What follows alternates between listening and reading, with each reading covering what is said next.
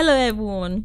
Welcome to another episode of How To Tutorials. In this video i'm going to show you how you can navigate the blender interface. So let's get to it.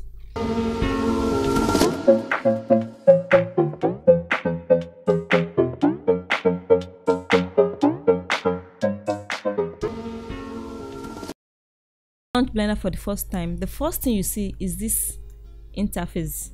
And the first thing you need to do is pick the shortcut that you want. I usually stick with the default but if you prefer 2.7 2.7 series you can select this.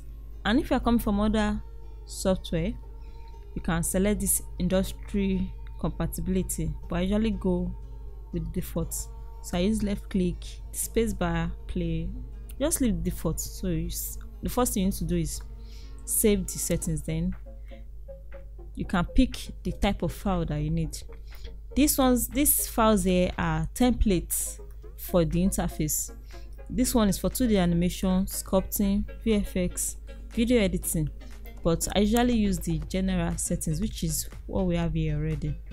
So to navigate the interfaces you middle click to orbit around your scene.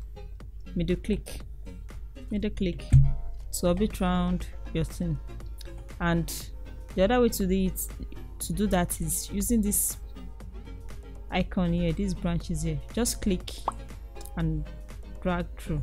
Drag left drag right up and down. You may click left right up and down. Left right up and down.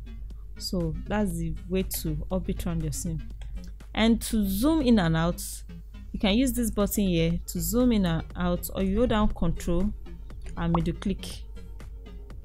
Control and middle click to zoom in and out or you use your scroll wheel scroll wheel to move in, to zoom in and out.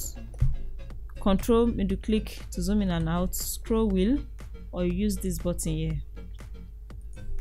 To pan around your scene use this hand to move the to move the view just click and drag to pan on your scene. Or you down shift middle click and drag shift middle click and drag.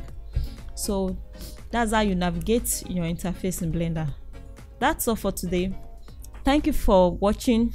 Please don't forget to like this video and subscribe to our channel if you've not done so already. Until next time stay true to your creativity Bye bye.